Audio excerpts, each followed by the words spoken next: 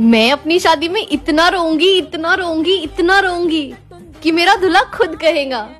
कि तू यही रुक जा